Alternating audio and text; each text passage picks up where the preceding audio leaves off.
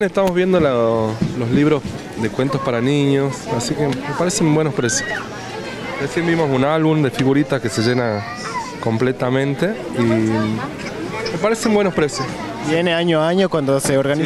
Sí, sí, sí, sí. Por lo general en los últimos días, que es cuando tengo tiempo. Hay mucha gente, muy concurrido. Hay unos cuantos libros interesantes para leer y está muy bueno. ¿Sos de venir año a año a la feria? Sí, aunque siempre llego al último día. Y bueno, hay pocos libros, pero interesante lo que queda. ¿Los precios? Y algunos accesibles, otros un poco más caritos, pero la mayoría son buenos precios. ¿Crees que a los jujeños les gusta la lectura o es algo, una materia pendiente? Y se nota que sí, porque hay mucha gente que concurre al- a la feria y bueno, eso es lindo, ¿no? Saber que mucha gente le gusta leer.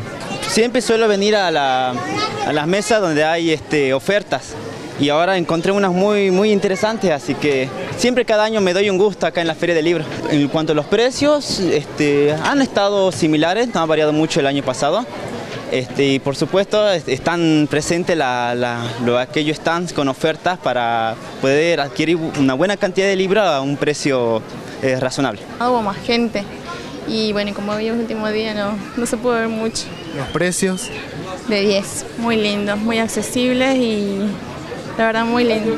Un poquito como que bajo, pero eh, lo importante es que hay gente, digamos, que lo- es una publicidad esto. Aparte de que una venta, se puede ir promocionando los libros. ¿Jujeño lee un poco más?